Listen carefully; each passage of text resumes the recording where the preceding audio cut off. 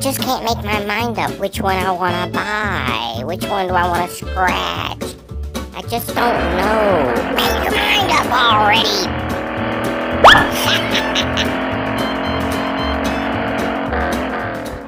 hey YouTube, Monster Scratcher here. And looky here, I got these Red Hot Double Doubler. I haven't played this. I don't think I've ever played this ticket.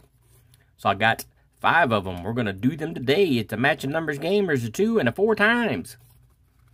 All right, let's do this. This ought to be fun and interesting, too, because I ain't never played this ticket. I got five of them. We'll start with two. So we got 9, 10, 11, 12, 13, it looks like. So here we go.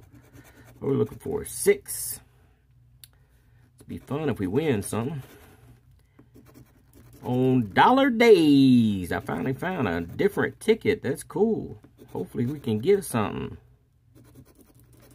We didn't get nothing on the first one.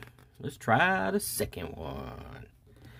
I love this little series. I like doing these little dollar tickets. I usually do them in the store. We got a match right there, right there. We got a match. Good. We got a win. I usually do them in the store, and I don't get as excited as I do when I do them. Got another match when I do them on the camera. Because you, when you, if you're in the store and you're scratching and you're all by yourself, and all of a sudden you get a win, and you go, "Oh, I got a match! I got a match! Oh, match!" and people think you're crazy.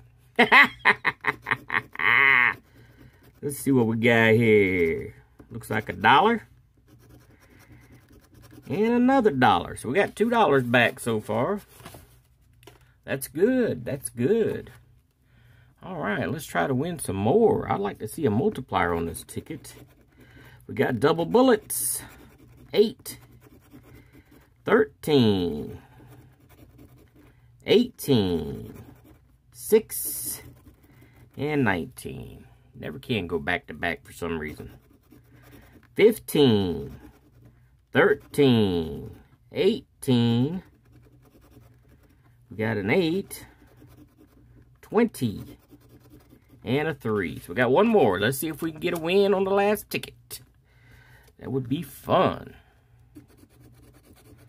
We got a 9, 10, 5, 19, 8, last shot, 13. All right, well, hey, you know, we didn't do too bad.